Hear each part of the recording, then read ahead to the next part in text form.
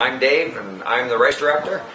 Welcome to Expedition Idaho. This is going to be uh, quite the adventure, I think. I think uh, the distance to be an official finisher is about 320 miles. The distance to clean the course, and uh, if you stretch everything out, it's about 528 miles, 137,000 vertical feet gain.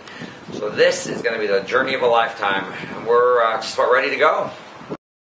We're going to have a bit of a fun scavenger hunt warm up that's on foot, and then they leave on bikes, and uh, got a couple little surprises in there, and then they're they're on bike, and then they do uh, the Heart of Darkness trek, and then they do the third segment is called Big, and that is a monstrous long bike. Then we have uh, paddling, and at that point we have our official finisher. They'll be they, they're halfway through the course. They've done the mandatory part, and then we have all the optional segments after that, and they have names like uh, Nasty Nav, Claustrophobia, Ridgeline Rumble, uh, and Survival Quest. So uh, I think we'll be able to keep them happy and busy for the rest of the week.